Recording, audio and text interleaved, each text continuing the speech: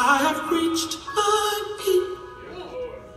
And if this is a test, I'm on the ground with my feet. Feels like I've been scattered limb